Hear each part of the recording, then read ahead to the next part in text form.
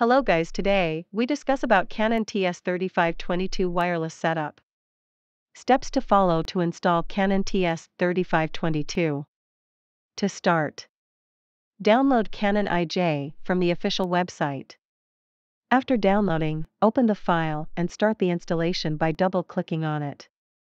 Follow the on-screen instructions and agree to the terms when prompted. Now the software will be installed and you can connect the Canon IJ Start printer to your computer via USB cable. Turn on the printer and wait for it to boot before opening the Canon IJ Start software.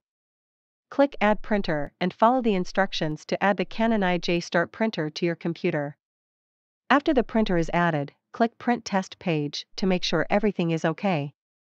I hope guys now you can set up this easily.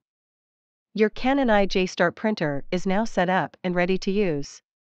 If you have any other questions or concerns, feel free to contact us in the comment section below.